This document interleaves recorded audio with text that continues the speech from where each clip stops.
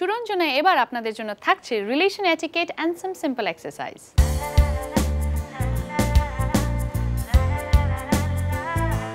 বিয়ের পর নিউ কাপলরা ঘোরাঘুরি করবে বাধাহীন।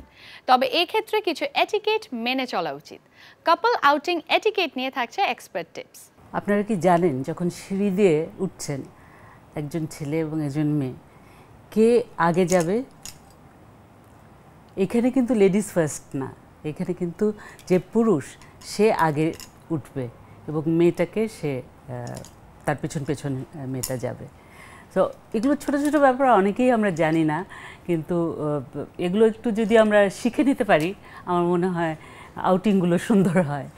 আর আরেকটা বিষয় হলো যে, মনে করেন আপনি আউটিংয়ে যাচ্ছেন এখন একটা ট্যাক্সি ঠিক করেছেন বা আপনার গাড়ি আছে, আপনি দরজা খুলে ছেলে, আমি ছেলেটাকে বলছি, দরজা খুলে আপনি ঢুকে পড়লেন গাড়িতে।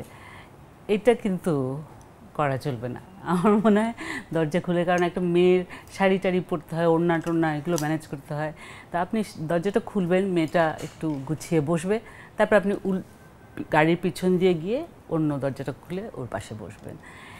এগুলো কিছু এটিকেটস আছে আর কি যেগুলো আমরা মনে করি যে সাধারণভাবে ফলো করলেও আমাদের একটু সুবিধা হয়।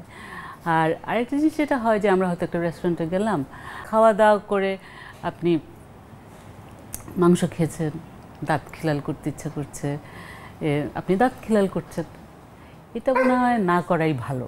কারণ দাঁত খিলাল করলে যেটা হয়, এটা দেখতে ভালো লাগে না দৃষ্টিকটু। আর যদি করেনও, একটা কায়দা আছে, মুখের উপরে হাত রেখে যাতে করে একেবারেই দেখা না যায়, সেরকমভাবে। তো আমার মনে হয় যদি না করা যায় সেটাই সবচেয়ে ভালো হয়। আরেকটা যেটা হয় যে রেস্টুরেন্টে বসে খেতে গেলে আমরা অনেক সময় খেয়াল করি না যে অনেক সময় ছুরি কাটা একই তো জিনিস। তো ছুরিটা হয়তো অনেক সময় মুখে দিই। তো ছুরিটা মুখে দেওয়াটা কিন্তু এটিকেটের মধ্যে পড়ে না। ইটস অলওয়েজ বেটার যে আমি কাটা কাটার ছুরি দিয়ে খেলে কাটা দিয়েই আমি খাব।